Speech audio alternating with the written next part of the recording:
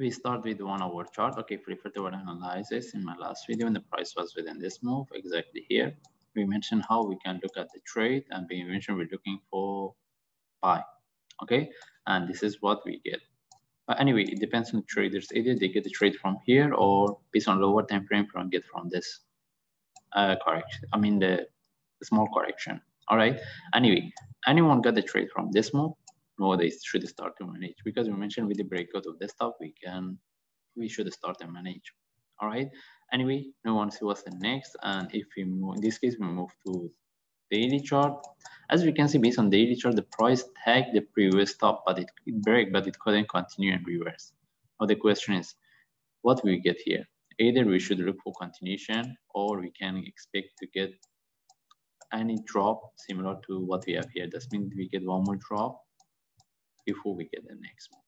That's why if you want to trade above this, we need to be quite careful because the price could then continue. And we cannot confirm whether it can continue or not. We have to wait, okay? And if you move to four hour chart, this is what we get. The price sharply tie as reverse. And if you refer to the indicators, we don't have anything. As I mentioned, and even if you refer anytime the price broke the previous top, it start to drop. Can we expect this one? We get that one more drop similar to any of this before we get the next move. Okay, that's why if we want, if we get any trade within this move, we have to start to manage.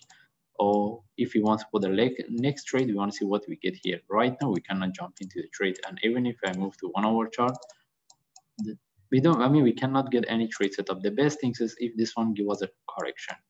But rather than that, we don't have any trade setup. How would if the price sharply reverse from here? Because right above this is the, I mean, because as if we, as we mentioned based on the daily chart, the price broke the previous top.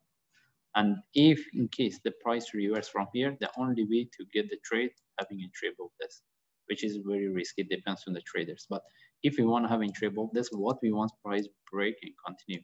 If the price tag, we see start to correct or not moving, we don't stay in the tra trade even within the first hour.